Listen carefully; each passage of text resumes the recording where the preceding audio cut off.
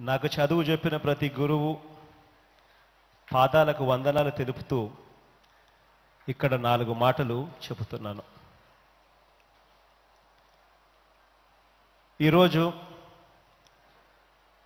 గురు పూజోత్సవం.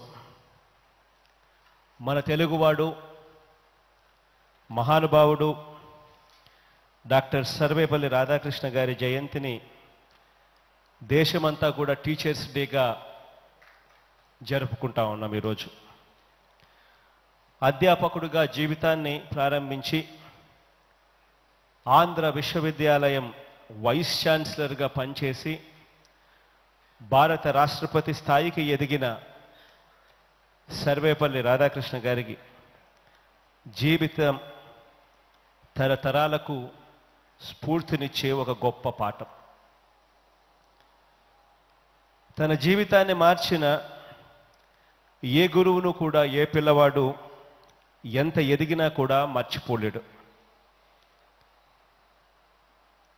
దీనికి ఒక నిదర్శనం కూడా చెప్పాలి అని అంటే అది మన సాక్షాత్తు ఆ దివంగత నేత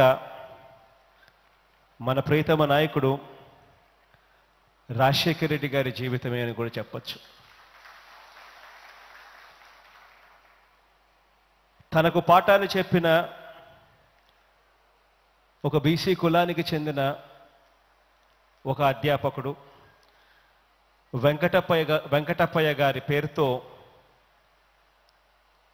పులివెందుల్లో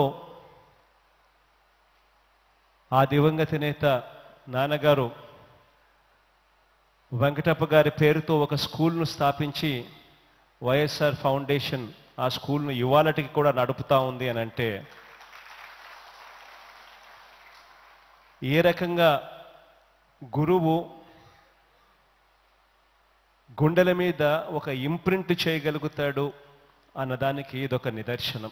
ఈ వీడియో మీకు నచ్చినట్లయితే లైక్ చేయండి షేర్ చేయండి. మరిన్ని ఇంట్రెస్టింగ్ వీడియోల కోసం మా ఛానల్కి సబ్స్క్రైబ్ అవ్వండి.